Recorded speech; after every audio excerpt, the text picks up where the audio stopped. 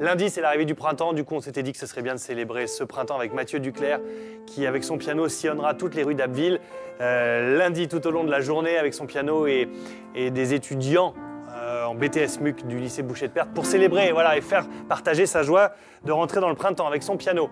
Il nous accompagne tout au long de cette émission. On va parler maintenant de ces étiquettes nutritionnelles. Le cauchemar lorsqu'on est dans un magasin et qu'on fait ses courses et qu'on se lance dans la course au décryptage des étiquettes. Heureusement, Marie Samy est avec nous pour en parler. Bonjour Marie. Bonjour Thibault. Merci d'être là parce que décrypter une, étiquette euh, sur un paquet d'un emballage alimentaire, c'est vraiment pas simple. Qu'est-ce qu'il faut regarder en premier?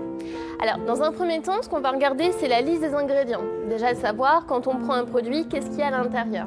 Donc, il faut savoir que la liste des ingrédients, l'industriel est obligé de les mettre. Surtout bah, si, par exemple, on est allergique à quelque chose, ça permet de savoir et de décrypter s'il euh, y a un allergène à l'intérieur, donc pour le consommateur.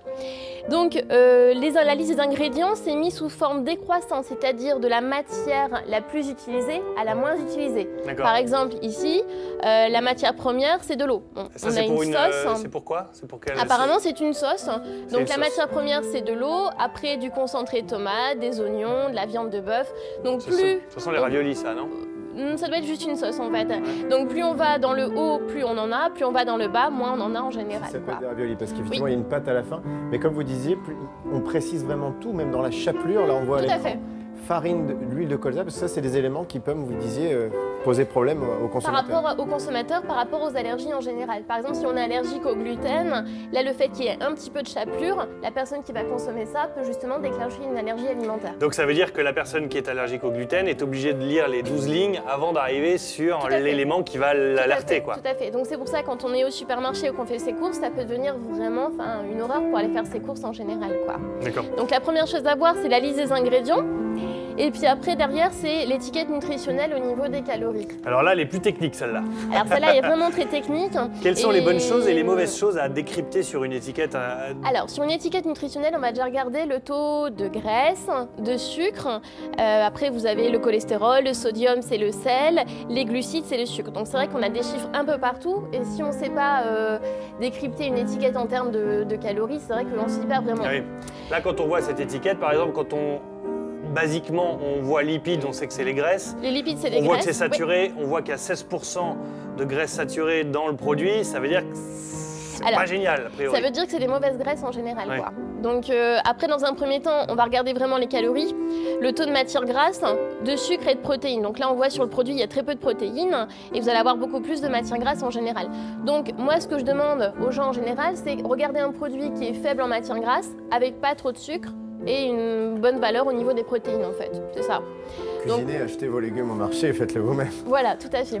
Après, en général, pour aller de la manière plus simple, moi, je demande de comparer des produits euh, non transformés. Par exemple, quand on est dans les rayons yaourt, euh, on a une diversité. Vous prenez le yaourt nature et vous regardez les calories avec un yaourt aux fruits ou une, ou un- une crème dessert, par exemple. Mhm. Vous prenez le yaourt nature, il est à 50 calories.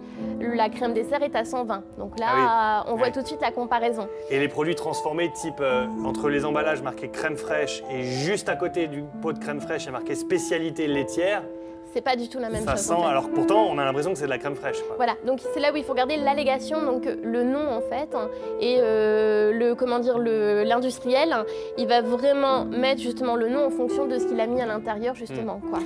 Il y, a- il y a aussi les pièges de, du léger. C'est-à-dire que parfois on voit des, des- des crèmes plus légères Tout et puis en fait. c'est compensé par une augmentation de sucre aussi. Ça peut être un piège. Alors sur les bases de matières grasses en général, on va plus mettre des additifs type de l'amidon pour rendre plus en texture et pas forcément du sucre. Ça dépend le produit en fait.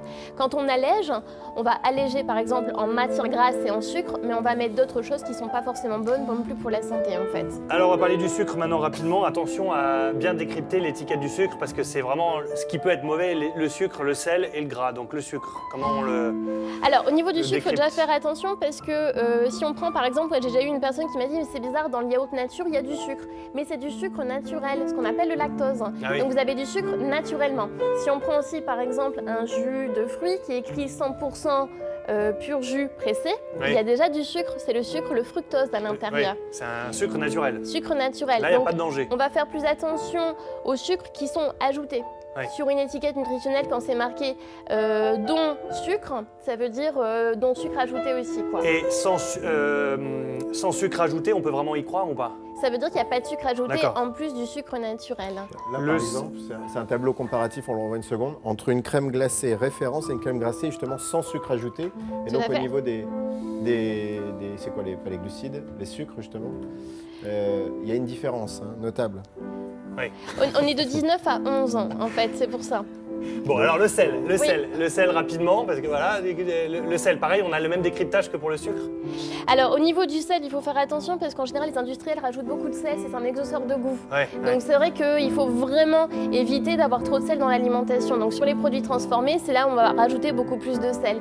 Donc là, euh, les étiquettes nutritionnelles sont un petit peu compliquées.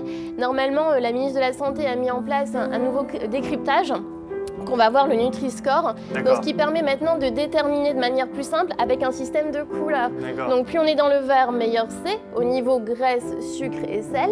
Et plus on va dans la catégorie vraiment couleur orange, moins c'est bon pour la santé. Est-ce que c'est obligatoire ça ou c'est sur la bonne volonté des industriels? C'est sur la bonne volonté des industriels encore pour l'instant. Bon. Donc euh, pour l'instant c'est encore un étape. test, mais ça va être une manière plus simple de justement décrypter surtout les produits qui sont transformés en général pour l'instant. Très bien, Donc pour lutter contre tout ce qui était l'obésité pour l'instant en, général. très bien. On en sait plus grâce à vous. Merci beaucoup Marie. Cette rubrique est à retrouver bien évidemment sur notre site internet hdf.france3.fr. Un